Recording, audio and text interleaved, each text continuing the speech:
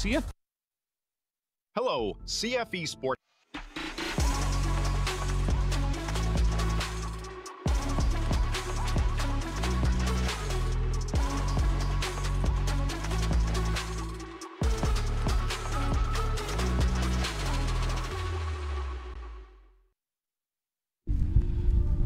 Ang laban ng Pinoy magsisimula na. Ladies and gentlemen, welcome back to CFS 24 APAC Series.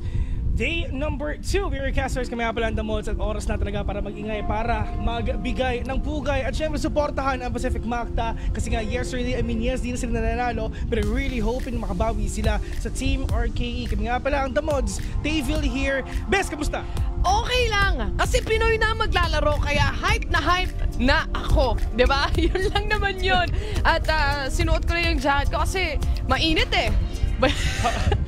Pilit ko na lang, no? Kasi mainit. Oo. Hindi, para, Para pareho tayo, Oo, para para, pareho pareho tayo. tayo. Mamaya suotin ko yung ganyan ko. Pero anyway, andito na nga tayo para sa ating second series para sa araw Mhm. na to. And definitely, Specific Macta versus RKE nga na maglalaro ngayon. Pero silipin muna natin actually yung match-up na meron tayo para sa buong araw na to, Bes. 2-1 yung score ng KZ versus CRH. Talagang kala ko magiging 2-0 na yun. Pero hindi, na-reverse sweep ng KZ ang CRH kanina. Pero yun na nga.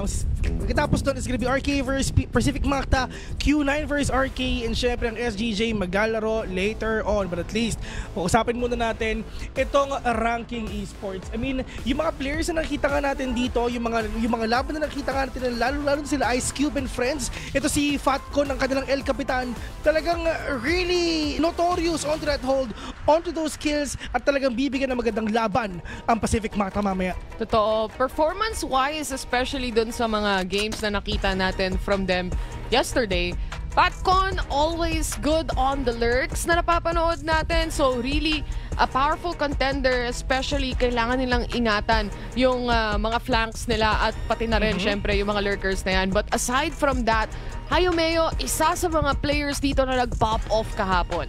Yeah, and like what you've said, di ba? I mean, talagang nag-pop off kasi meron siyang total of 50 kills na ginawa nga na dito, followed by Nevis with 47, yung mga total kills nga na talagang nakukuha nga nila.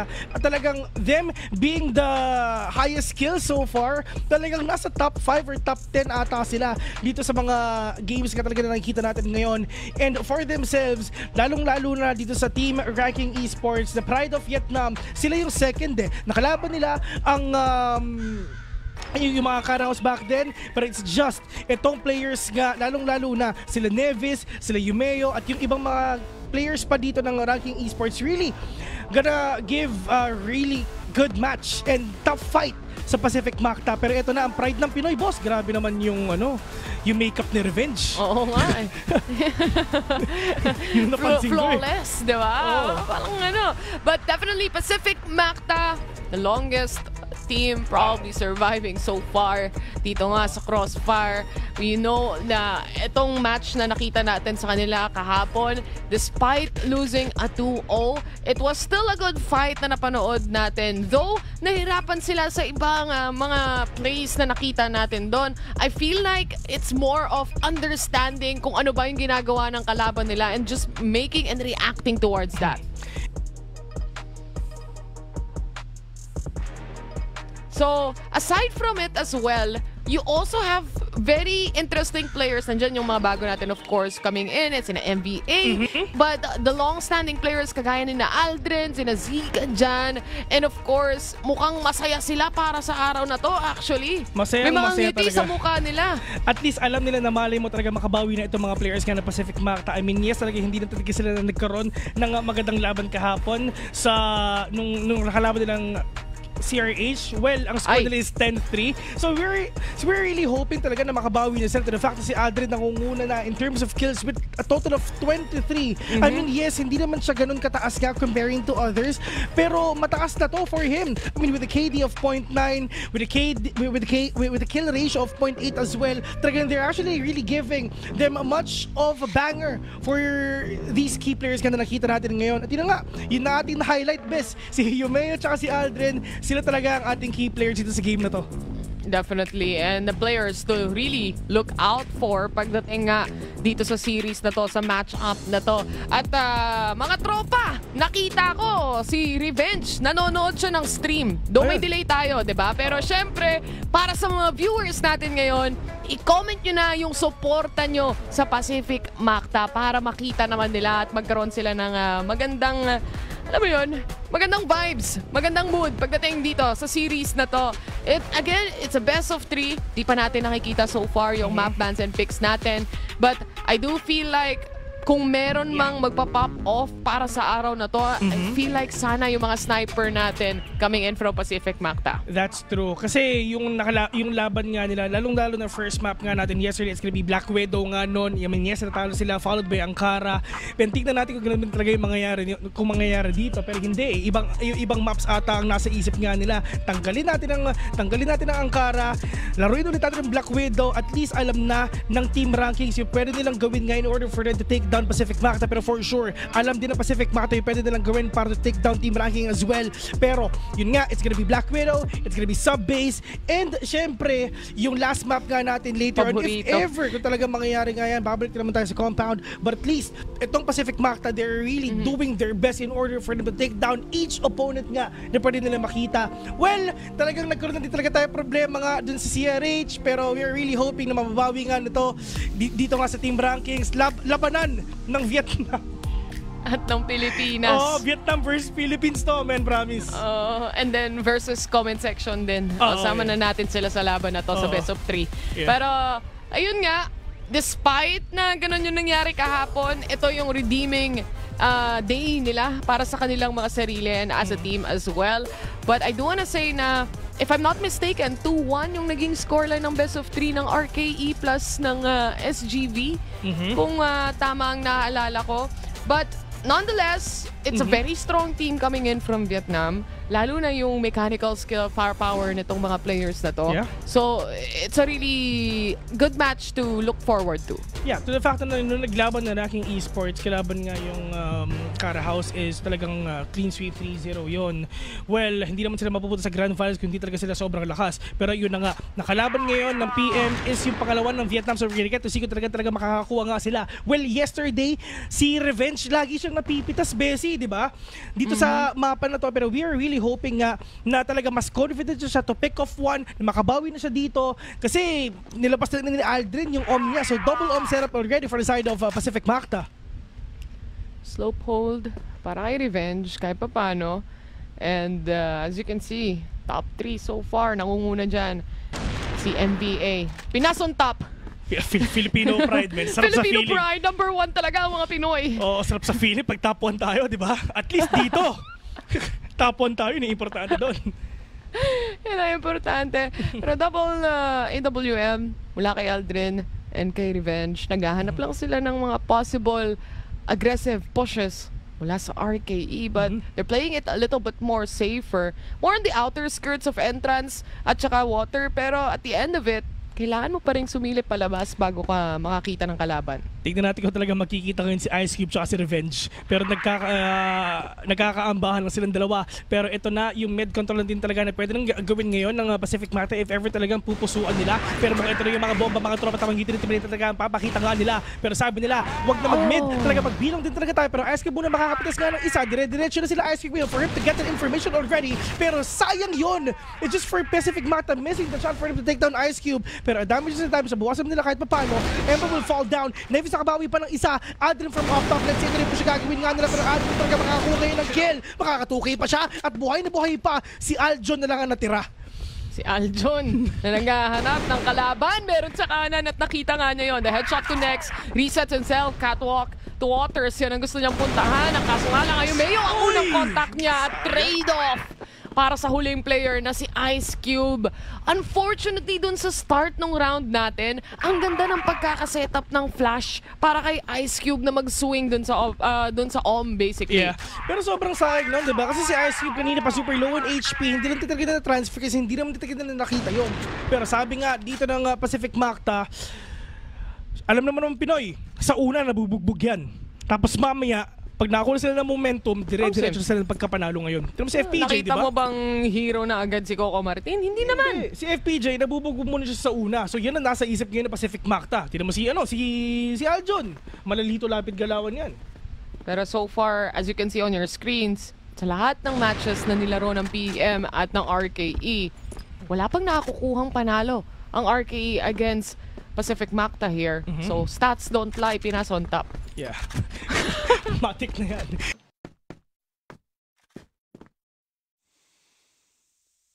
Bre, but right now, sabi nga na Pacific Macta, talagang let's try kung talaga mababawiin namin kayo. Mhm. Pero dito naman ngayon sa side nga ng RKE, it's just a utility play na talaga pinapakita nga nila. Maganda po yung nila dito ni Ice Cube and Friends. Pero that's it, ever kaya pa ba? Knowing to the fact na wala na talaga si Revenge. Pero Emva, talaga babawi pa siya. Ice Cube nakabawi din ang isa. Pero on to the side ngayon ng Pacific Macta, dire-diretso ng Cyber Sprint. Pray already. And Aldrin will catch one. Aljon at Aldrin. Diyos ko, sila lang natira. Yung isa super low pa. Si Aldrin nawala pa. Aljon, nasa iyo na naman talaga ang bola. Pero Humeo with a 2K ending their start win win again. 2-0 already. Grabe naman talaga ang mga taga-Vietnam. Pumupuso na. Grabe. I mean, the nade itself, na-secure yung kill papunta kay Aldrin dito. Dahil na piso peligro na lang din yung natitira para sa kanya. But up until the very end, kailangan lang nila makuha yung trade-offs dito para mapantay at least yung mga buhay ng mga players. B-main, control. Para sa side ng uh, RKE, so far, no pushes pero mukhang Pacific Macta, susubukan pa rin talaga nila yung B-site. Si MVA, naubos na nga talaga yung mga utility play nila, di ba? Talagang for the side of for the side of Pacific Mata, they're really trying to bombard RKE with all these utilities para din talaga mapunta sila sa out of position moments para makapasok dito ang Pacific Mata for them to capture everyone. But at least, itong um, gagawin nga ng Pacific Mata all the way from bitch, all the way from water to box, it's just papasok din talaga sila. Wala, wala talaga tanong-tanong pa. Emvo will catch one, pero meron pa tao sa may niya. Spray and pray. Nevis with a 2K, pero babawi pa sila. Si Fatcon mukhang manawala na ata. Ano super low na HP together with Aljon as well. Pero ito na yung reposition nga ginagawa nga nila. Revenge nakabawi pa. Ice Cube na tira on a 1v3. 2 is slow. Kaya pa ba? Revenge from far kasi nga naka-om siya. Ice Cube, kung kanina siya ang nakapag-survive at nakakuha ng kills. This time around, kaya niya bang i-punish yung cross na naset dito ng Pacific Macta. Kaso nga lang, good coverage mula sa kanya down on that stairs as well. Walang pwedeng rumess back pero yung dalawang players ng Pacific Macta naka-hold lang naman sa positioning ng post plant nila. Ice Cube to hop out, Oh, secures the what? first kill. Revenge, kailangan niya magtago. 9 seconds remaining in the pistol. Connects perfectly through waters. Pacific Macta takes the round. All you need to do is wait for the, for, the perfect opportunity for you to push in at yun ang ginawa nga ni Revenge. Hindi nila kailangan mag-ingay, hindi nila kailangan talaga sumilip kasi alam naman niya na maganda yung position na nagtatago lang siya and if ever talaga pumasok dito yung RKE, dun siya babawi dito at kahit pistol lang yung gamit niya, pwede na. Pero yung mga players dito ng Pacific Macta is just um, yung mga small utility plays, yung mga small na positioning and adjustment na ginagawa nila, talagang ang laki ng nakikita natin sa side nga ng RKE na adjustment as well. It's a 2 to 1. Lots of adjustments, definitely. But a much slower play pacing para sa side ng Pacific Macta. Holding slopes, habang yung tatlong players dito sa side or sa A side, dalawa, truck, isa naman nag-aabang lang din through stairs. Catwalk it is, MVA. Bumubuelo lang kahit papano. Walang pushes so far from RKE.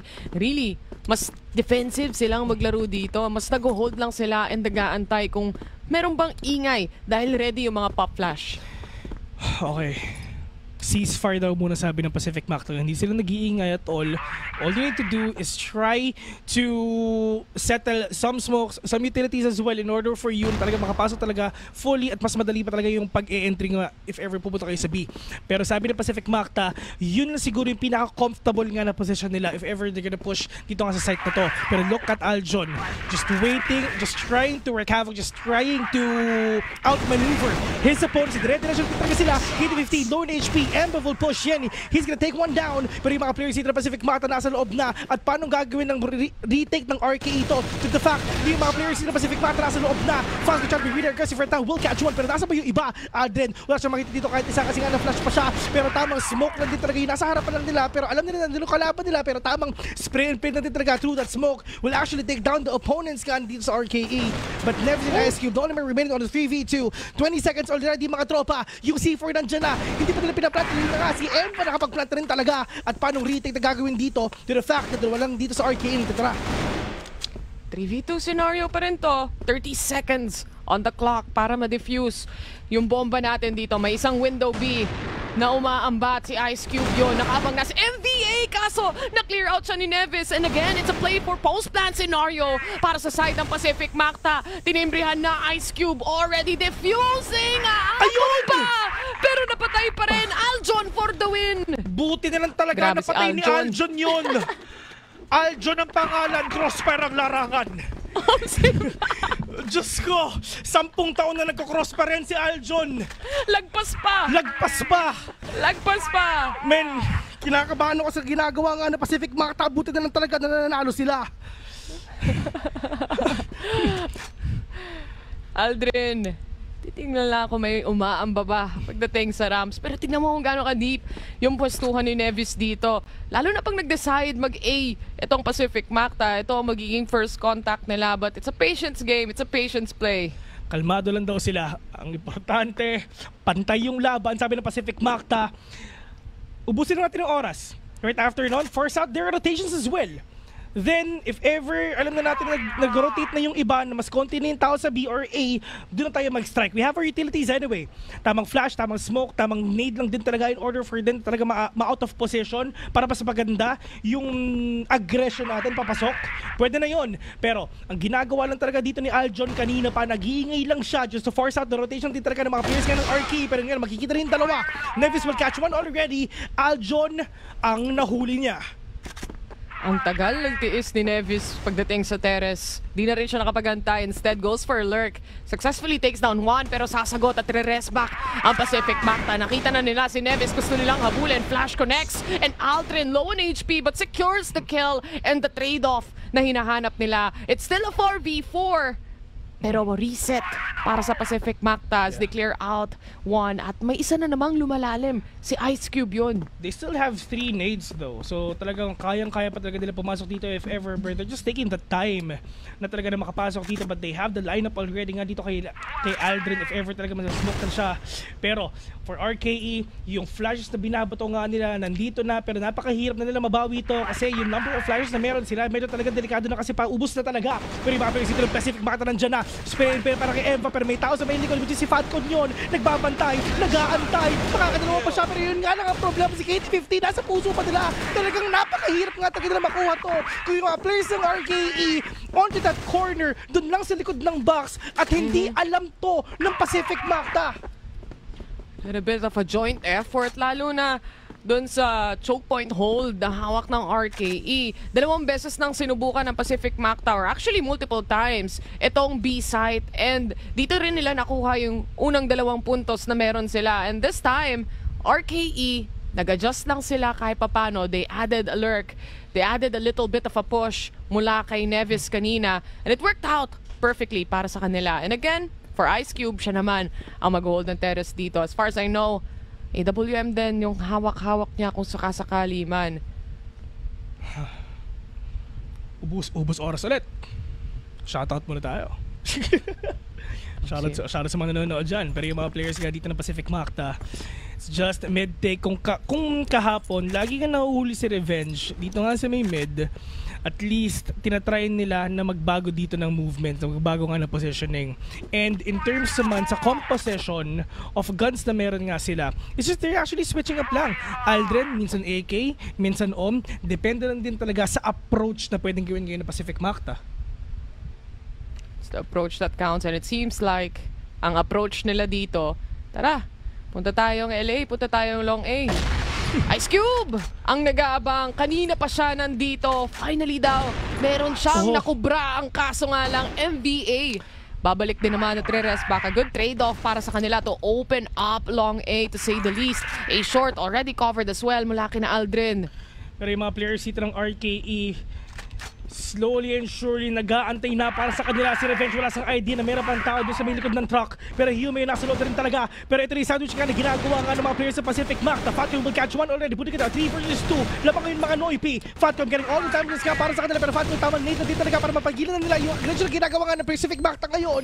But players of Pacific Mac at least nakapag-plant na sila ng bomba. 2 versus 3 still. Emva and Revenge low on HP 30 seconds for them to get that defuse done. But Revenge with that kill pero hindi talaga na nakuha yun sobrang sayang nun Davis nakabawi pa ng isa and on my remaining and Oh! Davis with a 3K Wow. grabe Okay. naman yun nakuha pa niya Grabe. Grabe yung re-entry niya doon. Grabe yung push na ginawa niya as well. Lahat ng matapatan niya, headshot agad ang makikita and immediately punishing three players all by himself even. Kahit yung read niya towards uh, window A, nandun din, kumpleto lahat. And because of that, Pacific Makta left with a two-round disadvantage for the meantime. Grabe si Nevis, man. Ibang klase talaga yung pinapakita niya pero malay mo, Pacific Makta makabawi na sila. Diyos ko, pag binagligtad mo yan, si Ben. Mhm. Hold position na naman Hoy! sila dito. Same scenario Bes. from the first few rounds. Oh, Wag sinabi ni, sabi ni Raymond Mabini, pag nanalo daw ang Pacific Makta, magpapakalbo siya. oh yan. Pacific Makta, Sama. nasa inyo. Panalo niyo to. Nasa inyo yan. Nasa kamay nila. Nasa kamay Pasend nila. na lang ng picture. Oh. Pagtapos nito. Ito na mga tol, kumukulog na sa Marikina. Pero yung mga players dito ng Pacific Makta, nandito na sila para bigyan ng magandang dilubyo yung kalaban nila. Dilubyo nga ba ang dala nila? Yan ang tanong! Mula sa likod, Ayumeo secures one! Pero ang gandang coverage pagdating sa A-short naman dahil nandito si na Revenge, MBA, securing those kills as well. Very low on the HP, oo. Pero again, it's a 3v2. Make it a 2v2 as one gets punished. A-short pa rin ba? Yan pa rin ba? Pupunuhin ng RKE dito dahil na-drop yung C4 kailangan nilang pulutin yan. Revenge, AWM pa rin. Shots, wala pa so far. 55 seconds in. Yung dalawang Titos of Manila babawi na. Pero Fatcon nakabawi rin siya. Revenge versus Fatcon. Sino mananalo sa kanya? Pero Revenge nasa baba pa. Nasa kanya yung C4 though. And uh, talagang uh, no choice na yan. They're gonna switch it up all the way from B. At least you have that control already and all you need to do is wait. Pero it yung clutch potential ni Fatcon, pwede pang mangyari. Ito na, 1v1. Revenge repositions himself. And I think, alam to ng RKE. Parati nilang Yeah. ginagawa to sa post-plant Oh. positioning nila. And Revenge, Hindi alam ni Revenge! pinagtagpan, tinadhana. Ruel Red, para sa side ng RKE, honestly. At saka naririnig din ni Fatcon yung mga movements sa ginagawa nga ni Revenge eh. Hindi ine-expect ni Revenge na doon pala magkagaling si Fatcon at ginawa ni Fatcon yun as their advantage na sobrang bagal nga niya maglakad at nag-iingay na dito yung kalaban niya and with that swing na ginawa niya, catching him off guard with a kill, closing that ground with a 5-2 scoreline and now RKE pinapalayo pa nila yung gap nung uh, lamang nila. Pero may change ng pacing dito ha. Mas bumibilis yung pagkuha ng control ng map para sa side ng Pacific Makta. Dalawa na nakapwesto. Source it is. Waters it is. MVA. And Justin, magkasama Oy. na rin kung sakasakali man. At ikaw yon Justin. First name basis, grabe ka naman Eliza. Pero eto ah, um, si Justin talaga medyo malamig patutok niya kasi nga 0-7 siya. Pero hopefully talaga makabawi siya mamaya. Pilipinas on top. Pilipinas on top. Pilipinas on top lang, men. Yun talaga pinakakailangan nga natin. Pero yung Pacific Macta, talagang agam-agam talaga. Sobrang pressured talaga nila dito, men. Talaga, kasi if ever they're actually um, giving pressure papuntang B, na nawawala agad yung pressure na yun kasi RK with the positioning, eh, lalong-lalo na doon sa position ni Humeo, ilang beses silang nahuli dyan. Pero may smoke sila ha, pagdating sa mid So, at least, for the time being, RKE has to watch mid control and revenge. Finally, na-secure niya na rin yung kill papunta kay Ice Cube. Kaso nga lang, may sagot agad as Aldrin goes down. Unti-unting Ramirez back. Tatlong players mula sa RKE nakapwesto na rin. Isa sa doors, isa sa ilalim ng staircase. At kailangan nilang i-clear out to. Medyo choke point pero a double kill mula kay Justin na hinahanap natin. And a 2v2, kailangan nilang umentry. And Justin with such a low HP, hindi pa rin talaga kakayanin. Yun ang sinasabi nga natin, lalong-lalo na sobrang deadly din yung positioning dito ng ah, ng RKE. Kasi tatlo agad na nag-aantay. Actually, hindi lang tatlo, apat pa eh. Mabilis yung rotation dito ng RKE. So, in terms of reaction, nakakapag-react agad sila. And the terms naman dito kay Yumeo, dun sa positioning nila, dun sa may likod nga ng boxes, ilang beses lang nahuhulog doon. Pero revenge with a quick kill onto that Om. Take it down, Fatcon. Yung El Capitan ng RKE, wala na. Pero nasan ba yung iba? 4 versus 4 already. The revenge, I mean, yes, meron siyang damage dito. Pero for PM, mukhang iibahin ata nila yung approach nila. Yung may is nandyan, nakakuha nga siya ng kill ngayon si Zyke at least. Si Aljon, nakabawi na ng isa. Pero, quick trade lang din talaga na ginagawa nga ni KT-15 ngayon. One to one lang. Dalawa sa parehas na teams dito. Eh, Nawala na rin nga. Don't be, medyo nabigla si Revenge dun sa nangyari kanina sa A-Long but still managed to pull off a quick kill. Sa AWM na meron siya, Aldrin, medyo bumubuelo. Si Ice Cube, ang una niyang point of contact. May flash ba?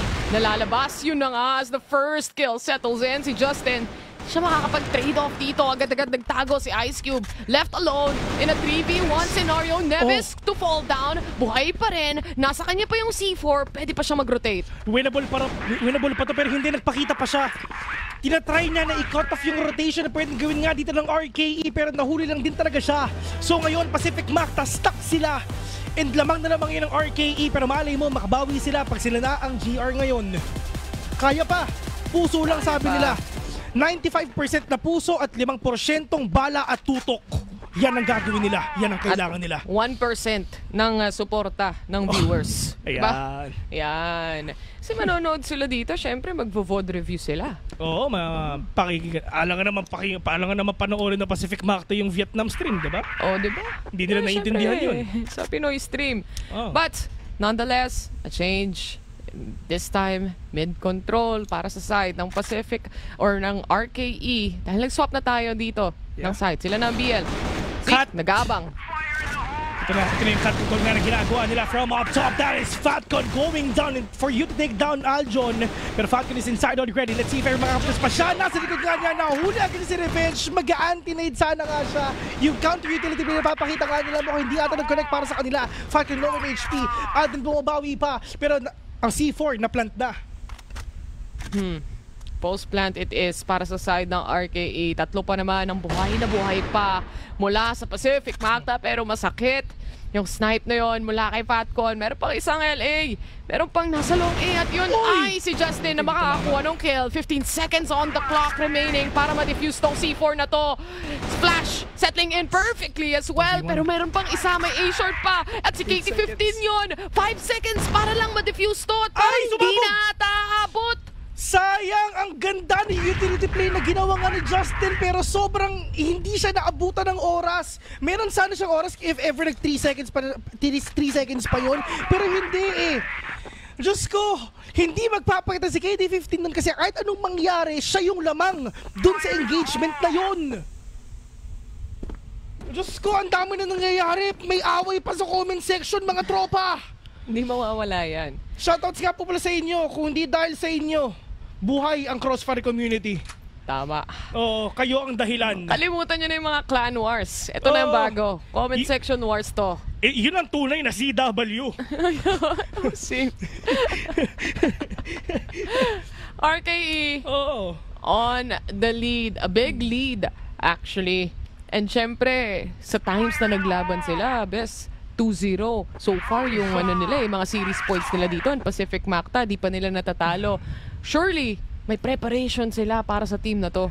Alam mo, Bessie, meron nga tayong first game, second game jitters na. Oh, second game jitters na, binago na namin. Oo. Kami na nag-adjust. Oh, yun na nga, meron tayong first game jitters. Ito yung second game jitters, mga tropa. Let's see if ever makakayanan pa ba talaga ng Pacific Macta 8-2 Malay mo, mabawi na. Last round for the side of RKE for them to get that match point already. Pero Pacific Makta really struggling for that win. Really desperate just to find that opening for them to get that win. Pero nga, nandiyan sila kabawi na ng isa. 80-15 talagang, Diyos ko, pulado na siya. Pero at least, yung mga utility play, utility play na ginagawa nga ng Pacific Makta, nagko-connect na. Buti ito, 3 versus 3. Justin and Emva, mukhang nawala. Spray and play. Nevis, biglang natusta. Pero KD15, bumabawi pa talaga. Pero ang problema talaga, super low na siya. Pero importante, tatlo pa ang natitira para sa kanila. Si Aldrin biglang nawala. Si KD15 nakabawi pa sobrang low na niya. Pero, pero, pero putting ito 1v1, Fatkin in revenge for the second time around.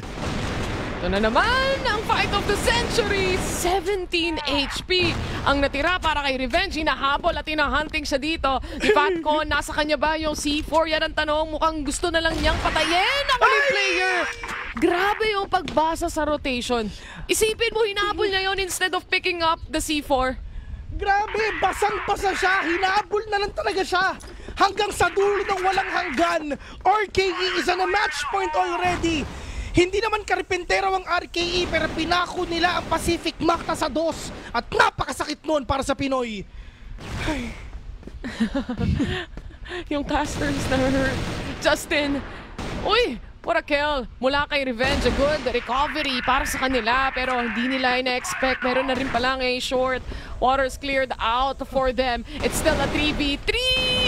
Aljon, tamaan mo na. Sige na. Buhay pa. Utang na loob Nice! sa makabawi ka na. Pero yung mga players niya dito si Aljon at least nakaisa na siya. Pero nasa ba yung iba? Puti kita 3 versus 2 already. Yung may puso pa. Pero ang importante, lamang ang Pinoy. Sa suporta. PM At- di ba? P- Pinoy yung malakas. Yan ang ibig sabihin yan. Nasa tama naman. Pero again, like you said, lamang nga tayo sa manpower. It's a 3v2.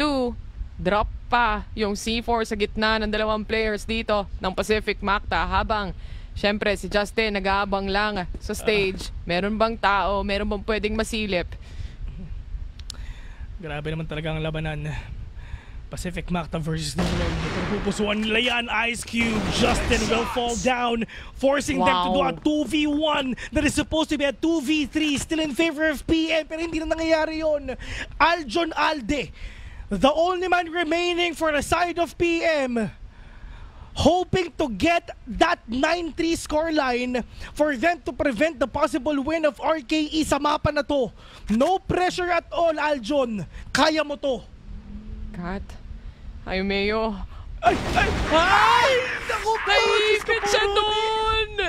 Ang galing mag-clear out ng RKE dito, especially doon sa positioning kung saan gusto nilang pulutin yung C4. Yung focus nila, hindi nasa C4 sa pagpulot but instead on clearing out the angles na alam nilang hahawakan ng Pacific Makta.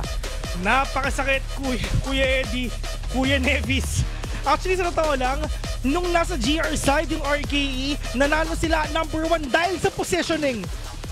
Ang so- sobrang solid yung yung B nila, yung position nila sa B. Lalong-lalo na pag nagtatago sila sa likod ng boxes, it's just alam na alam na ranking esports kung paano nila maiisahan ang ah, Pacific Makta. Not only that, ang ganda ng mga reads ng ranking esports dito sa totoo lang. There was this time na kung saan it was a 1v1 at si Revenge nakapag-plant na ng C4 and obviously, mag-hold siya ng post-plant doon. Alam exactly ng RKE kung saan siya mahilig mag-hold ng post-plant. So, really when it comes to reads and execution-wise, RKE definitely read that game very well and dominantly as well. Yeah, I mean, uh, they literally dominated yung kalaban nga nila. And like, what happened yesterday? One-sided. I mean, masakit man isipin, masakit man sabihin, pero ganun talaga yung nangyari. Ano yung score? 2-10? So, it's gonna be really difficult for them to recover kung ganun naman talaga, kung one point na talaga ang kailangan nga ng RKE for them to win. And doon nga sinasabi nga natin, they're really struggling. The pressure is there, and the momentum is all over the side of. RKE. Tsaka once na maramdaman nila na, okay, parang magpupush na all the way to B-site, then ito na yung mga nagiging posisyon nila under those stairs, merong nasa door na nag-aabang na, meron pang nasa left side. It's a trifecta position na mahirap i-punish, lalo na kung wala kang mid-control. And exactly like that, nagagawa ng paraan ng RKE. Maliban pa dun sa problema nila pagdating sa B-site, itong A-long na meron tayo as well, during the time na mas nagiging komportable na yung ranking esports, mas komportable na rin silang kumuha ng space especially sa terrace. Pero at least, yung position nga dito yung ginagawa ng RKE really gave yung Pacific Macta a hard time dealing with them. So, yung Mayo with the positioning and yung mga triangle defense nga na ginagawa dito ng RKE, talaga napakahirap nga na pasukin dito ng, uh, ng Pacific Macta. Pero in terms of them actually, dun sa 3v2, na lamang na sana Pacific Macta, pero nauhuli agad sila ni Ice Cube, um, catching them off guard. Isa-isa sila nawawala at tinatry din sana ni, ni Aljon minsan na hulihin yung mga players dito ng RKE isa-isa. Pero for RKE, they are really ready on what's gonna happen sa mga pwedeng gawin dito ng uh, Pacific Macta. It's just parang basang-basa nila at alam na alam nila kung paano i-counter yung Totoo. aggression, yung depensa ng kalaban nila. Grabe yung homework nila, men. Oo, hinomwork sila nito. Kahit yung mga simpleng 1v1 scenario na naiipit yung C4 para sa kanila, alam nila yung magiging rotation na pipiliin ng Pacific Macta dito. Na syempre kapag low HP ka na, kailangan mo mag-reposition at mag-rotate. And instead, hahabulin at hahabulin talaga ng mga players ng ranking esports itong Pacific Macta. And to say the least, FatCon ang number one when it comes to the KDA pagdating dito sa una nating match. Up until the very end, I would Yeah. say lahat sila para sa RKE may ambag. Ito ah, um, nagbilang ako, Bessie. Oh, Eight straight rounds ipananalo ng uh, ng RKE itong games na to. I mean, yes, first two rounds ito nga sa RKE nakabawi ang Pacific Macta for them to to force a 2-2 na tayo nga pero right after that Diyos ko, eight straight rounds talaga nakuha nila to. And for themselves just oh, number one the momentum the positioning the aggression everything the utility play as well. Kuhang-kuha na ng RKE and there is a reason already kung bakit sila ang top 2 nga ng Vietnam. And it's just for themselves. Grabe na ang Philippines versus Vietnam ah. Vietnam baka naman kahit konti lang makabawi lang kami. Kahit isa lang o next map baka naman. Pero, pero ito ah yun nga I mean daming kalaban ng ano eh, daming kalaban ng Pacific Macta eh. Number one, yung RKE. Nasa comment section. So it's gonna be really hard for them to pull something off. Nahirapan sila mag-isip ng strats, no? Dahil ang dami nangyayari. But definitely, a one-sided map na nakita natin dito para sa game number one. Ang kagandahan, hindi pa tapos ang lahat. Kasi best of three series tong pinapanood natin ngayon. So we're jumping in sa second map natin Ito pagdating dito and hopefully makabawi ang Pinas, ang Pacific Macta sa next map which is sub-base na pinili nila. Bessie, eto na. Eto na. Kung baga, mapa na ng Pinoy ito eh. Yung pumili nito, di ba? Pinagbigyan lang yung RK kanina doon sa first map para syempre may score sila. Pero ito na yung 3 game scenario nga na makikita nga natin ngayon kasi for sure ang Pilipinas babawi na. PM, Pacific Macta, hindi. Pinas Malakas, yan ang pangalan nila. Pinalitan na ni Ate Vanch. Oh, si Ate Vanch. Hindi na. Shoutout nga pala kay Ate Vanch ha, na nanonood ngayon. Hindi ko alam kung nanonood ka pero pakiramdam ko nandiyan Pag ka. nanood siya, maririnig niya pa rin naman. Pero Oo. ito na, game number 2. Magsisimula muna tayo sa GR side. Okay. Pacific Macta. Sila muna dito ang mga pulis. Mag-aantay lang sila. Mapipigilan ata nila yung mga players dito ng RKE for their aggression. Pero mukhang iba ata ang nasa isip nila. Kasi yung RKE nasa CR na.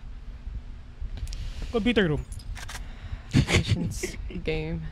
Para sa kanila, RKE, slowly but surely, tatlo ang nag-hold ng positioning na yan. Habang yung isa naman, which is si KT-15, gaantay din kung meron bang uh, any aggressive push. Little bit of a scatter of uh, players mula sa RKE na naghahanap lang ng pick-off. Pero itong RKE, what you've said, it's all the pickups nga talaga na kailangan nila i-consider dito. Pero they're, just actually leaving KT-15 out on the open dito lang sa may papuntang A, side lang sa may wooden. But right now, ito na yung mga entry talaga na pwedeng gawin nga ngayon ng, ng RKE with all the utilities nga being thrown out. One nade na lang talaga natitira, nga sa, natitira para sa kanila. Pero there's a lot of flashes pa rin talaga na pwede nila ibato ngayon. But for the side of Pacific Macta, all they need to do is wait for the aggression, wait for, wait for the position, and Kaya magandang trade-offs lang din talaga yung kailangan mo i-consider dito. I mean, yes, natalo ang ah, Pacific Macta dito pero ngayon babawi na talaga sila. Kasi anong oras na eh, feeling ko, oras na din talaga para magkabawian na. Pero in terms of utilities, eto na, papasok na Bessie.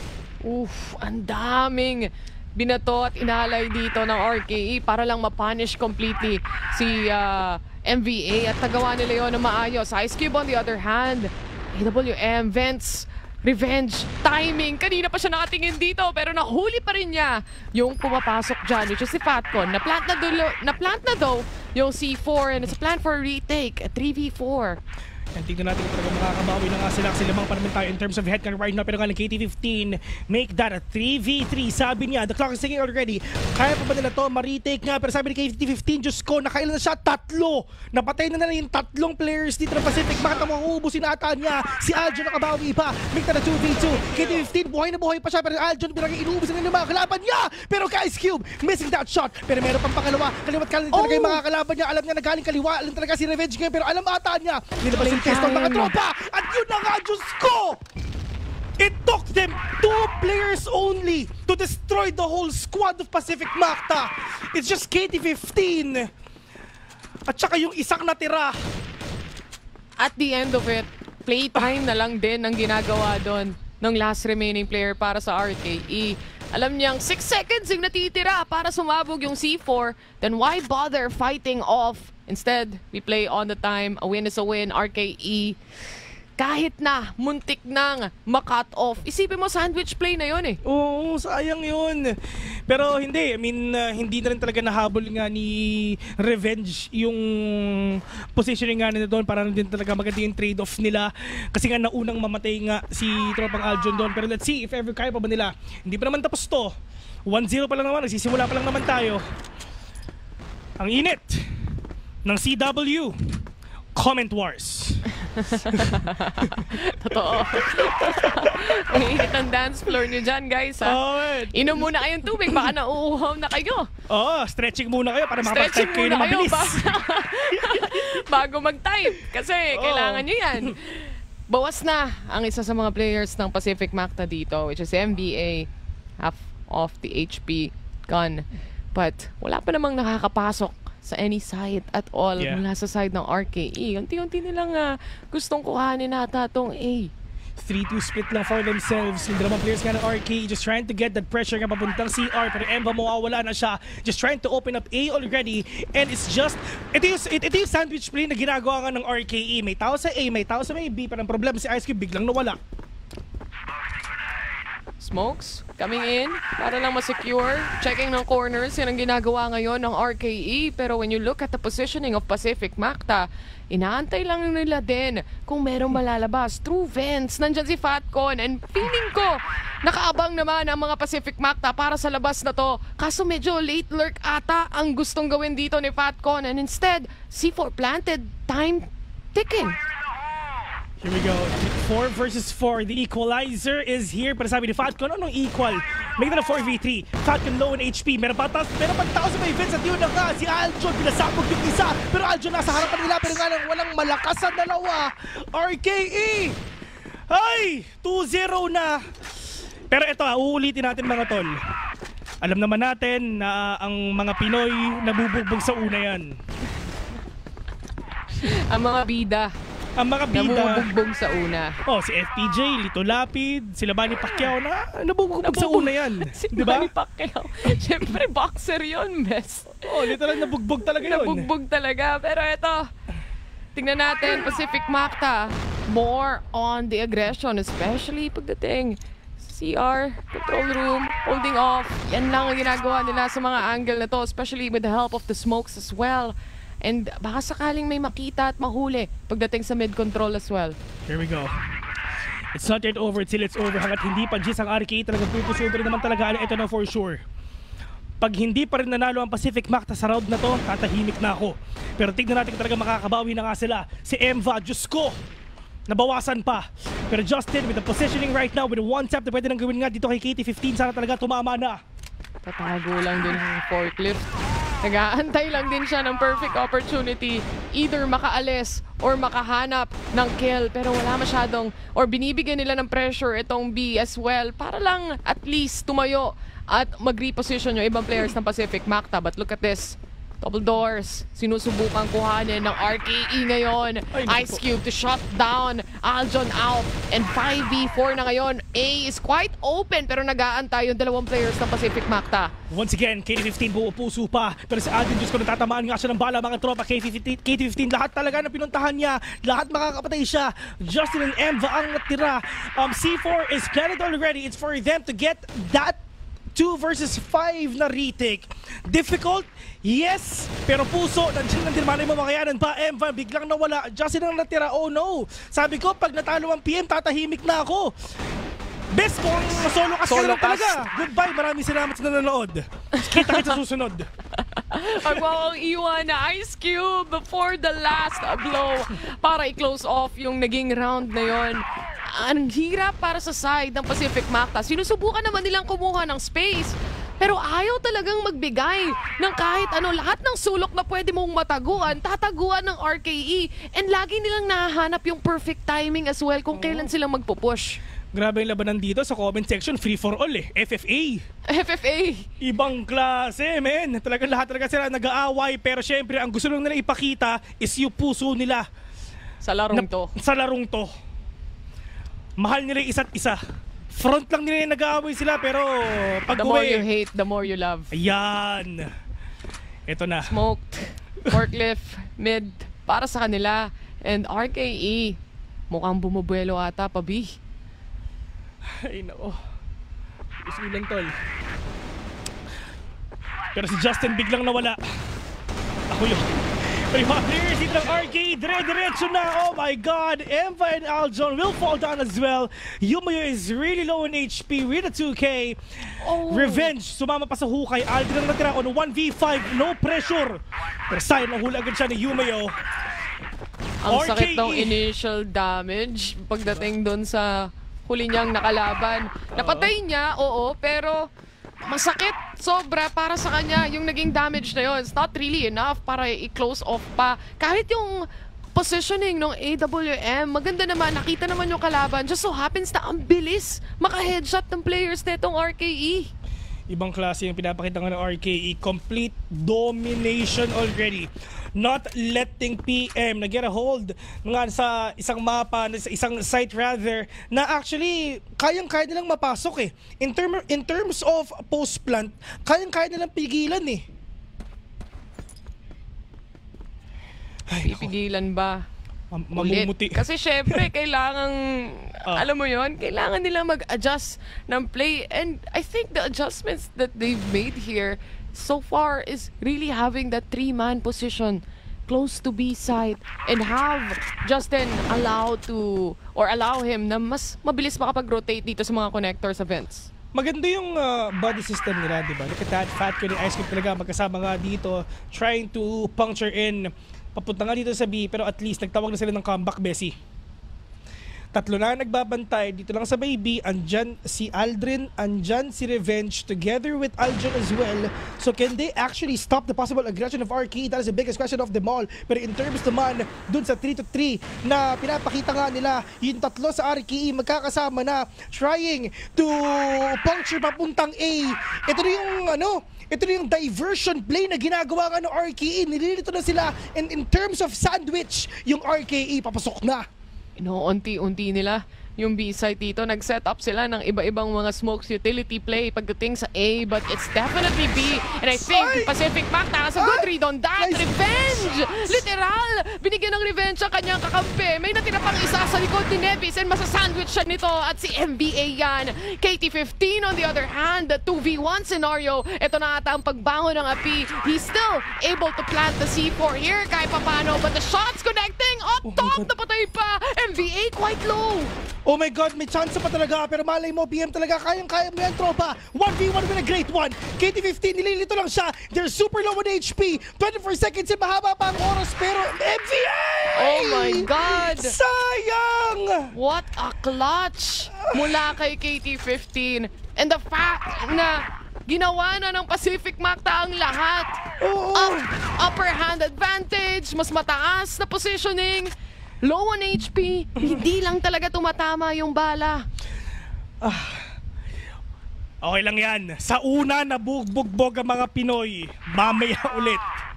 Hanggat hanggat hindi pa 10 ang score ng RKE, pupusuan na yan. Hindi pa tapos. Actually, may nagsabi sa akin yung kaibigan ko, eh. alam mo yung sabi niya? ano sabi? Hanggang 5th round lang yung tutok ng mga kalaban natin na yan. Tama. Ito na. Hanggang 5-0 lang. Oo, 4-5 na to mamaya, tignan nyo. Na isusulat yan sa Vilblia mga tropa. So eto na, manggigigil na sila. Hanggang 5 rounds ng tutok ng RKE, promise. Tapos na yung buff ng mga yan. Tingnan natin. Dahil when it comes to Pacific Macta, dalawa na ang may kontrolado ng mid Oo. dito. Gusto na nilang mas patatagin yung depensa. 2-2-1 split para sa kanila so far. Ito, Bessie ha. Ipakita lang natin yung suporta. Press 1 kung PM, press 2 FRKE. Yun lang yan. Sino ba sinusuportahan nyo? Lahat Press puro 1 one. na para, press, para Pacific Mata nga na nga talaga. Pero Nevis, andyan na para sa kanila getting all the damages kaya parang spray and play na talaga ginagawa ng mga kalaban nila. Si Adjo nakaisa pa. Pero yung mga players nga ng RK, Diyos ko talaga na, talagang nahihirapan na sila. Kasi yung damage yung binibigay talaga ng Pacific Mata nandiyan na. Fatcon biglang nawala. At yun na nga sinasabi nga natin, di ba? Hanggang 5th round na tutok na talaga ng mga kalaban natin. Yung talaga yung pinapakita nila. Pacific Mata, pupuso na. Apat pa ang natitira. Ice Cube nakabawi pa ng isa. Make that a 3v2 pero importante, lamang tayo. Yung RKE nasa labas pa. Hindi sila makapasok kasi yung PM, they're all over the place right now. Bars. si Revenge na may AWM. Holding off the positioning lang. Kung may dadaan ba at meron nga. Trigger discipline lang daw. Tinitimprihan na lang niya yung mga kakampi niya. Pero nakita na rin si Ice Cube. Alam nila exactly yung positioning ng RKE. Especially for the last remaining player na nasa B-site. Deja vu ba to, Bes? 2v1 na naman. Deja vu pero tayo na yung panalo noon. Emva and Aljo na ang natitira pero let's see if kayang pa ba. Siyempre kayang-kaya na no questions at all. Lamang na lamang talaga mga Pinoy. Sinasabi din natin na hanggang 5th round lang talaga yung tutok niyan at talagang mangyayari na yan ngayon. Yun na yun, nag-aantay at yun na nga! Sinasabi na natin sa inyo, hanggang 5 rounds lang yan. Tama na RKE, ang sakit-sakit na. Grabe, after five consecutive rounds, nahanap na rin nila yung formula para lang pigilan ito RKE. That double down pagdating sa mid-control definitely helped a lot. Mabilis talaga ang kamay sa gatilyo nitong mga players ng RKE. But then again, it's all about the understanding. And it's an understatement to say na hindi nila kakayanin itong. RKE ngayon. 5-1 na ang score. Ang lakas talaga ng mga Pinoy. KT-15! Diyos ko, bumawi agad siya. Ay, naku, buti na lang hindi siya naging K10 kasi magiging pusa siya. Pero yung mga players dito ng Pacific Macta, si Aljon nawala. Pero ang importante, buhay pa yung apat. Kaya pa. Tingnan natin as they try to reposition themselves though. 2 to 2 dahil nga nabawasan na sila ng isa dito. And atras muna, balik muna tayo sa A side para kay Revenge. Habang yung mga players ng RKE, sabi nga nila, ubusan oras pagdating dito kasi kailangan mo maghanap ng butas. Ito ha, utang na loob, Pacific Macta, talagang pusuan natin yan. Kasi syempre, gusto pa natin makita yung game number 3 mamaya, which is Compound. So, PM, once again, really struggling for them to catch the rotation, to catch um, RK off guard to the fact na talagang lahat talaga ng mga entry points na pwedeng gamitin nga ng RK, sinisilip na nila para mahuli nila agad-agad. Pero ano ba yung mga countermeasures na pwede nilang gawin if ever pa silang pumasok dito? You have the flashes, you have the nade, you have the smoke as well. And in terms of positioning, RKE, mukhang lamang na lamang sila kasi syempre lima pa sila. Pero in terms of time, yun na yung medyo nakukulangan sila. 50 seconds.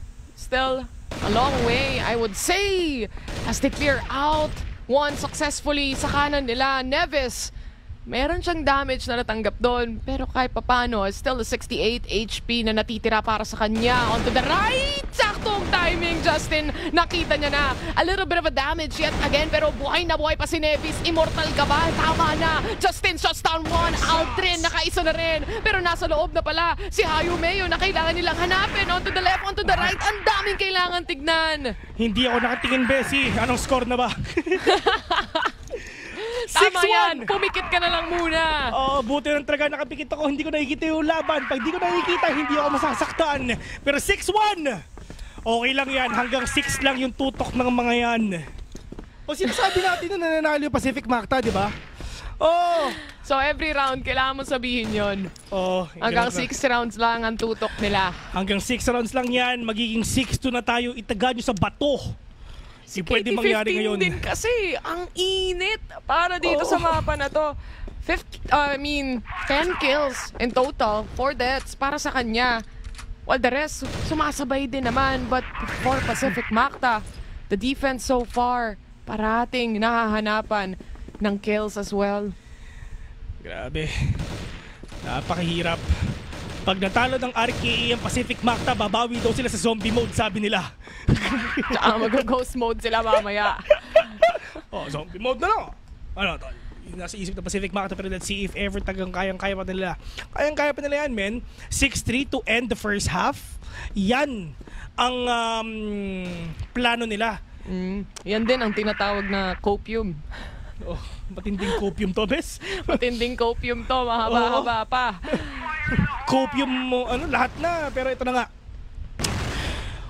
RKE, with all the shots they're actually giving, no more kills at all, pero revenge will catch one. Ganit at revenge ay ginawa nila sa mga kalaban nila. Si Aljo nakabawi pa, forcing them to do a 4 versus 1. Ice Cube na lang ang natitira. 4v1. Gaya ng sabi mo, Bessie! Hanggang round 6 lang ang tutok Oh, di ba? nila. Pacific Macta. Nanalo na naman for this round. It took them a little while. Pero unti-unting bumabalik yung rounds. Puso lang mga tol. Sabi sa inyo, hanggang 6 rounds lang yung tutok ng kalaban. 6-3 na yan mamaya, itaga nyo sa bato. Ta- Itaga nyo sa vibranium, yun na yan. Eh, Shoutouts nga pala kitang nanonood siya. Ayan. Yan. Ang ultimate Si- tito of Manila. Um, Sim. Ninong ko Oo. yan. Pag, alam mo ba si Tangs pag nasa mall, alam mo yun? Huwag mo siyang ilalagay doon, Bes. oh, Oo. ayan. Huwag na huwag mo siyang ilalagay doon. Sa loob Pero ng tingnan- mall. Yeah, sige, di, di ko ilalagay doon. Tingnan natin. Dahil so far for Pacific Macta, are they having a good read? That's the question. May onting bawas damage papunta kay KT-15. Buti naman. Ang sakit-sakit niya na. Tama na. KT-15, utang na loob. Pumikit ka naman. Pero okay lang yan. Off mo muna monitor mo. Oo. Balita ko sa Vietnam, Earth R daw eh. Pero natamaan siya ng nade ah, so mas low na siya. Okay Ay, na yan. Sino natamaan ng nade? Oh, siya, pero konti lang. Pero ito na yung pagpasok nga nila, Aljo nakabawi pa, nakadalawa na siya, lahat talaga inuubos niya mga tropa. Yung may pumupuso pa, akala mo naman talaga mananalo ka. Pero yung mga players nga dito ng Pacific Macta, at least alam natin na lamang na sila. At yung sinasabi nga natin, di ba? Nakita natin sa script na 6-3 yung first half nga na natin. At yun talaga mangyayari ngayon. 5 versus 1, Ice Cube na lang ang matira. Sumuko ka na. Napapaligiran ka na namin, Ice Cube, at yun na nga. 6-3, basang-basa. Panis! Walang nagawa ang RKE mga tropa. Lamang tayo sa suporta. Tama. 6 to 3 ang score natin para sa first half na to. Nahirapan ng kaunti sa una pero sinunod pa rin nila ang script na naisusulat sa Biblia. Yan ang importante, 'di ba? Ang bilis, wala nang Ang bilis. replay, replay at highlights. Oo. Rock na ito, next half na agad. Oo, wala nang post-match sa first half. Tara, game na tayo. Anong oras na daw kasi kakain na sila. Gutom na gutom na ang Pacific Macta mga tropa. PM, hindi Pacific Macta yan. Pinas Malakas ang pangalan nila. Walang kabayas-bayas. Siyempre, sa Filipino stream tayo. Pero ito, silipin natin. Para sa Pacific Macta, sila naman ang kailangang umatake dito. On the BL side, mid control. Dito nagsisimula lahat kanina eh. Medyo tumitingin pa sa forklift, tumitingin pa sa vents, sa mid control. Then along the lines, nakikita natin yung RKE kanina na rekta na lang tayo muna. Ito Pero na. tingnan natin, PM, more on the mid take first. Ito na ang pagbangon ng api. Kung baga, ang PM blacklist na, di ba? Lahat sila talagang papasok na, dire-diretso na. At ito talaga yung pinaka gusto nila. Pag nasa BL sila, wala silang gagawin. Kung mag-press W talaga, try to overwhelm their opponents para mas mahirapan pa sila. Pero ito lang yung mga bomba talaga na para sa kanila yung may magandang posisyon niya. Nag-a-attract din talaga sa aggression na pwedeng gawin ngayon ng Pacific Macta. Pero at least, wala talagang tao nga dito lang sa may B. Pero andyan naman ngayon si Revenge para mag para mag-ingay with a diversion play. Yume will catch one. Pero nasa yung ng iba. Kailangan talagang bumawi dito kasi si Yume mag-isa lang siya dito lang sa A mga tropa. Na sila papasok na. Yume nakadalawa pa. Si Aljo nakabawi pa. Puti ito 3 versus 3 already. But look at Revenge. Trying to cut off the rotation pero hindi siya tumama. Napatay siya ni Ice Cube dito. AWM din. Ang hawak-hawak niya. 3v2 scenario. Naplanta nila yung C4 times ticking down. Pero pang nasa isa na nasa taas. KT-15. Medyo masakit yan. Pero MVA to the rescue daw as he shuts down one. 1v1. 1v1. Aljon, Aljon. ito na yun. Aljon, Aljon! utang na loob. Utang na loob, Aljon, let's go! Sinasabi na nga namin sa Aljon inyo, ang pangalan. Crossfire ang larangan. Yan. scene. What Aljon, clutch. Aljon is the name, Crossfire is my game. Yan ang tandaan nyo. Woo! Woo! Let's go, Aljon! Low HP na siya nun, ha? Diyos ko, 6-4. beta, be- beta stages pala ng Crossfire, malakas na siya. Hindi pa binubuo to. Nilalaro niya na to. Oh, men. Ay, nako. Tiwala lang mga tropa. Lugi Kahit- sila. Kakampi kahit- ang caster. Ito, best, ito tandaan mo ha. Ano yun? Ang Pacific Mata, malakas na nga sila, di ba? Sa tutok, sa score, at saka sa edad. Tama. Edad pa lang, panalo na Pacific Mata eh. RKE, wala na sila magagawa champion. Exactly! Patandaan na lang oh. Pacific Mata, sure win sila dyan. Pacific Macta, dalawang rounds, dalawang puntos. All the way from having uh, such a pretty close 5-1 tayo kanina, di ba? 5-1, then naging 6-2, hanggang napunta tayo sa 6-3. Ay, nako. Kung tama ang pagkakaalala ko, pero ito panibagong round, panibagong puntos. 6-1, bes. 6-1 to 6-4. Sinasabi na nga natin, hanggang 6 rounds lang yung tutok ng mga yan. Hanggang dyan lang yan. Kasi yung Pacific Mark, dire-diretso na. Sa pagkapanalo, yung mga nation dyan, tatama na para sa kanila. Pero yung RK, nagtatago sila. Alam mo kung bakit? Kasi nga, takot sila. Revenge though, nakapitas na lang isa. Fatcon, tumapad pa. Pero KT-15 muna ang mamamatay up top. Mahanap din nila dito si Neves. And now it's a 5v2 scenario. Yung dalawa, hindi na nila alam gagawin nila.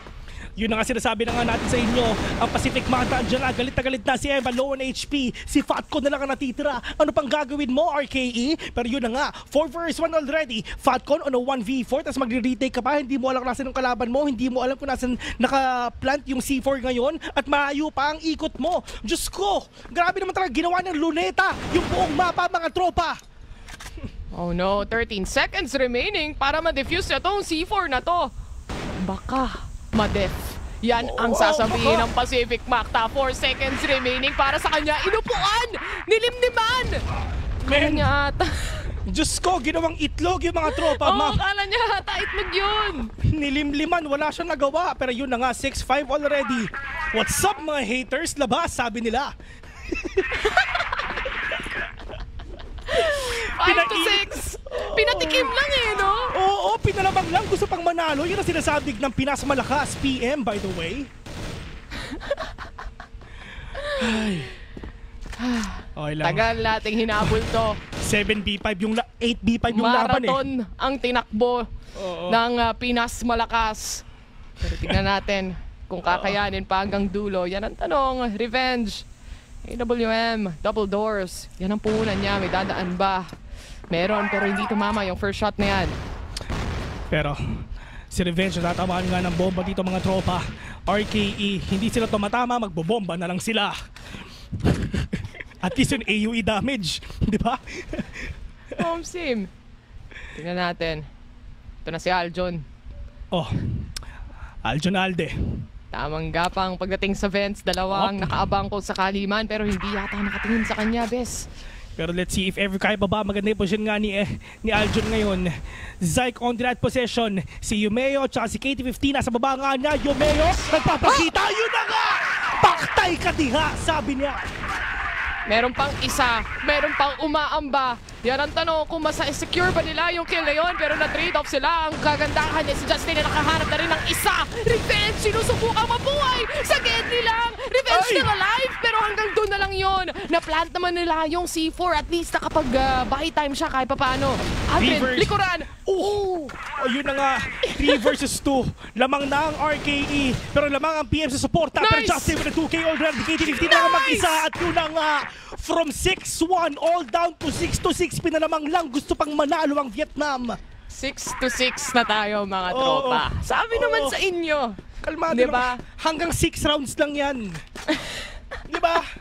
Diyos ko, at yun nga sinasabi ng Andy, di ba? Kasi sabi natin, RK, patayin nyo yung mga monitor nyo kasi sa Vietnam, balita ko, Earth R. Ginawa nila. Good positioning mula kay Justin dito. Triple kill to close off yung round na yon. Isang magandang pambawi, especially dun sa Black Widow map nila kanina na medyo nahirapan siya. Ang lakas talaga ng Pinoy, no? Actually, ano talaga to eh. Kumbaga, um... Ito na yun eh. I'm not actually surprised sa ganito yung mangyayari. I'm actually surprised sa RK na 6 points pa sila. Ito na. Ang Pacific Makta. Naaamoy na nila ang pagkapanalo. Tayo na score nila. Pero revenge na sa harapan na nila Harapan mga tropa. Diyos ko, iparil mo na yan! Nasa likuran mo! Justin talaga makakakuha. I got you bro! Sabi ni Justin ngayon kay Revenge kanina. Nice save, nice save. Yan ang sasabihin muna nila. Revenge, buhay pa naman kahit low HP. Pero this calls for a reposition para sa side ng RKE muli. Neves, sinusubukang bumanse dito kahit papano. Nakakaramdam ata siyang may double doors at si Revenge yun na nagsusmoke lang at nag-eekom sa Gedi at nahuli pa rin niya with a pistol shot itong si Neves. Pero a good trade mula kay Patgon.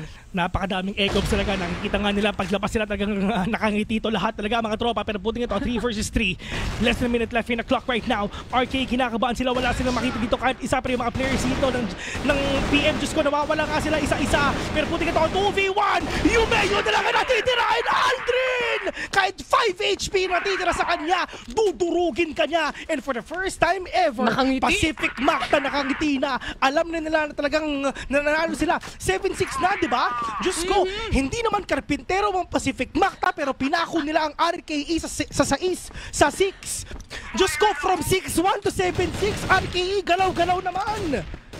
Comeback is real so far. Kailangan na lang nila i-close off itong mapa na to at aabot tayo ng game number 3, Ay. which is the goal. Sarap What is the manalo. plan? The plan is to win and the win is... To plan. Yan!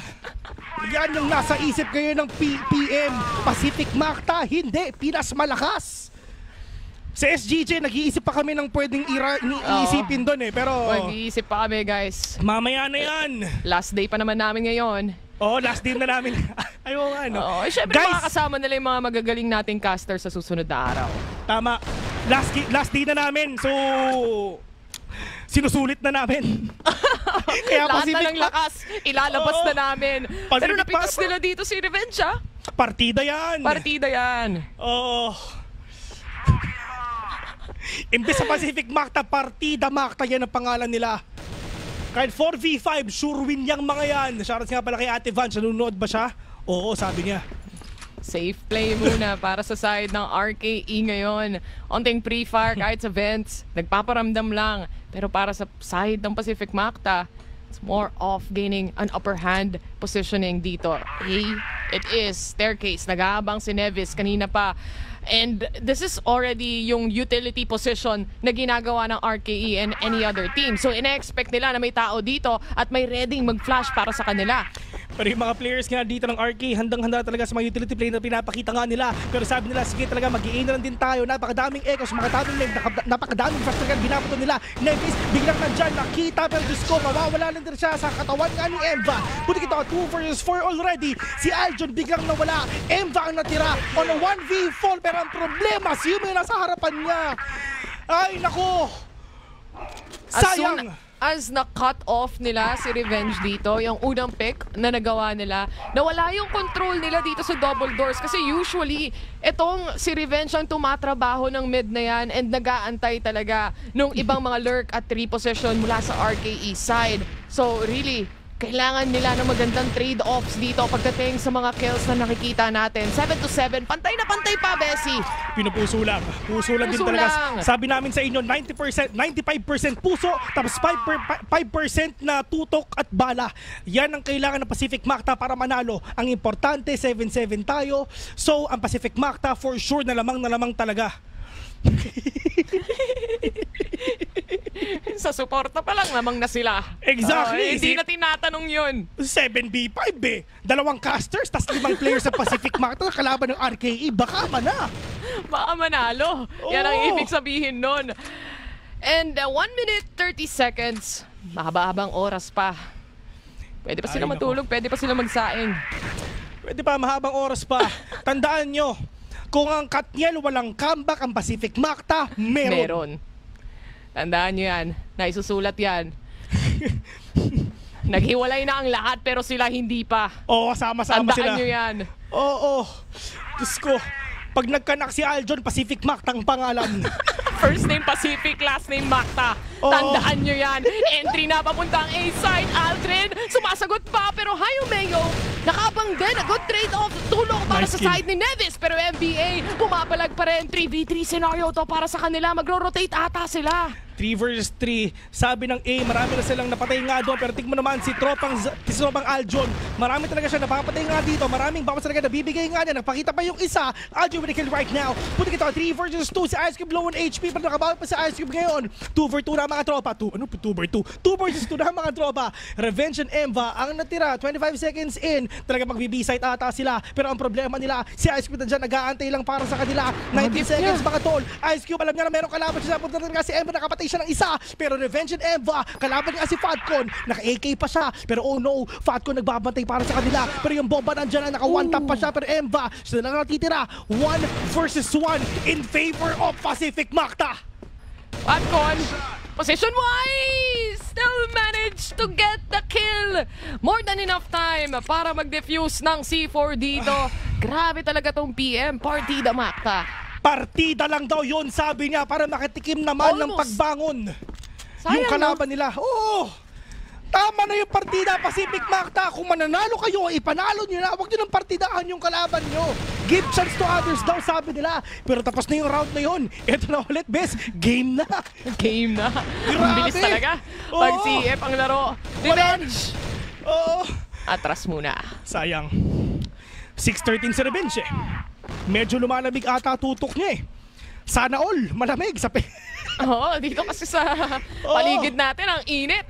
Grabe talaga. Shoutouts naman talaga sa mga nagsi-CW dyan.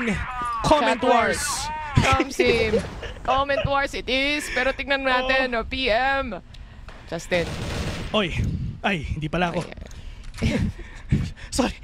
First name kasi, first name ko kasi Justin. Share ko lang. Here we go. Tumahimik ang mundo ng dalawa eh, no? Oo, syempre. Iba talaga. K- Kailangan tahimik na din tayo kasi daw hindi marinig daw ng Pacific Macta yung kalaban nila kasi yung ingay daw ng casters ngayon. Oh, sim. 7 to 8. Yung scoreline, kaya bang gawing 8 to 8? Kaya. Yan ang tanong na dapat sagutin ng Pacific Macta dahil mukhang mag-flash out sila para dito sa B entrance. Pero mukhang paramdam lang yon so far. Mula dito kay Revenge, panggulo lang daw dahil nandito na kami. E-entryhan na namin kayo. Ang kaso nga lang may trade na magagaling kay Patcon so far. Siya Revenge. mainit dito. Pati si Revenge, Aldrin, bumagsak na. And Revenge na lang ang natitira. Ito na ang pagbangon ng api. Malay mo talaga mabawi na. 1 versus 4 already. Inaantay lang talaga natin na makabawi nga si Revenge kasi syempre yung pangalan na nandyan na. 45 seconds in mga tropa. Diyos ko yung C4 nakapag-drop pa pero Yumayo talaga ang nakakuha. Pinapaganda lang daw, pinapaganda lang daw ng Pacific Tama. Macta yung ano, yung Laban. storya. Yung laro. Exactly. Ano ba naman kayo, guys? Oo. Siyempre, may excite ka ba kapag sobrang one-sided? Hindi. Di ba?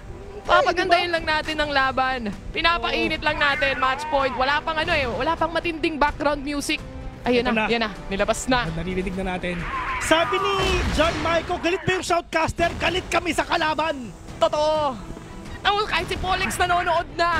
Ito na yun. 5v4 scenario. Si Aljon na wala muna for this time. Partida lang daw dahil sa NBA. Masasalo naman niya yung kasunod na kill para dyan. Ice Cube on the other hand, maraming tinatanggap na damage pagdating sa utilities. Pero wala akong pake. Magpa-plant na lang ako.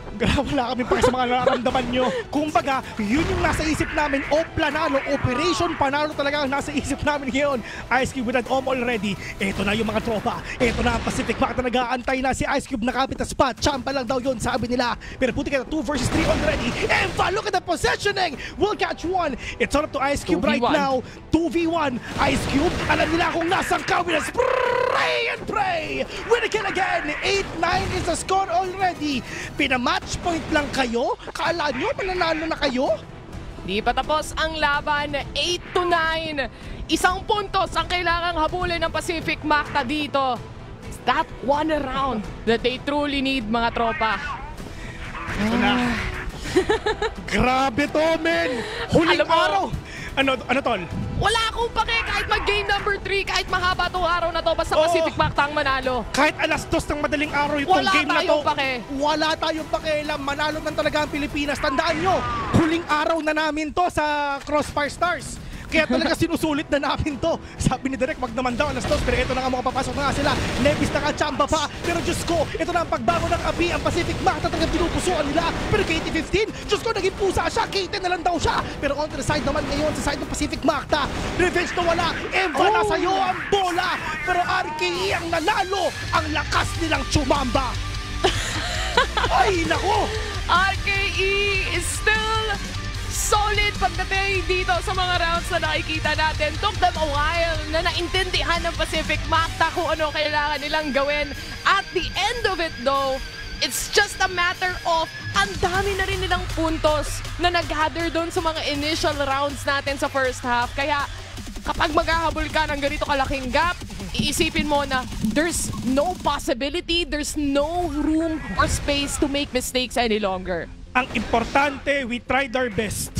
Um, Sim, sana eh, nag-gaslight din yung viewers natin na Oo. mananalo ang Macta. O di ba nag-enjoy kayo? Kaysa yung malungkot kayo. Oh, exactly, di ba? Sabi nga, ginagawa ng Pacific Macta, pinapaganda lang nila yung laban. Ay, nako. We tried our best. Ito yung kasi guys ha, yung bahala ng Pacific Macta sa tutok, kami na ang bahala sa sigaw, sa Ang suporta. At kayo na yung bahala mag-away dyan sa comment section. Bahala na kayo dyan. Pero ang importante, nakabawi tayo. Ay, best, meron pala ako, nagkamali pala tayo. Bakit? Hindi natin nasabi na hanggang 9 rounds lang yung tutok nila. Oo Sorry nga, guys! Kaya pala. Sorry! Kaya pala. Kaya pala nakakamba. Kasalanan natin to. Oo. Tayo may kasalanan. Sorry talaga guys, kami yung may kasalanan. Pasensya na kayo kasi sino naman kami, wag na sila. Pero what a well uh, done fight mula sa side ng RKE.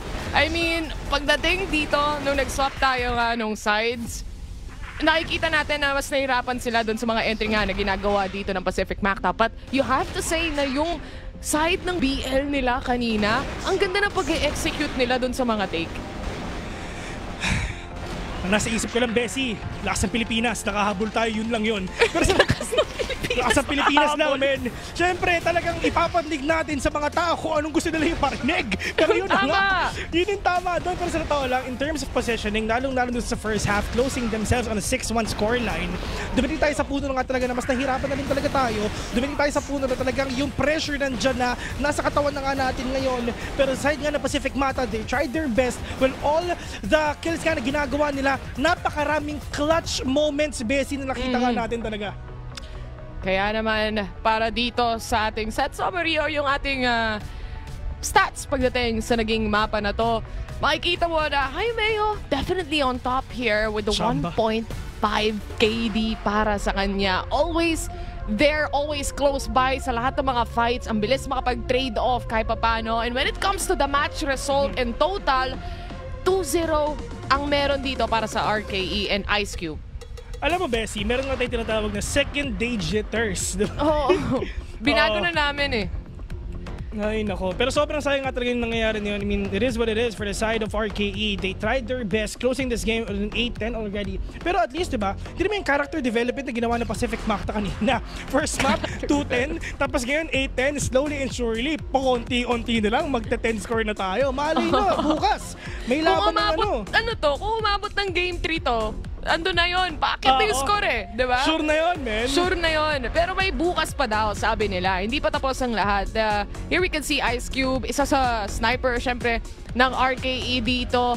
And have been stellar performer pagdating sa game number 1, lalo na doon. And up until game number 2, hindi pa rin talaga siya nagpapahuli. Nag-enjoy kami sa laban na to sa totoo lang. Maraming salamat nga pa sa nanonood. Maraming salamat sa sumusuporta nga sa mga Pinoy, di ba? Pero huwag kayong magalala kasi meron pang laban ng mga Pinoy mamaya, which is ang SGJ.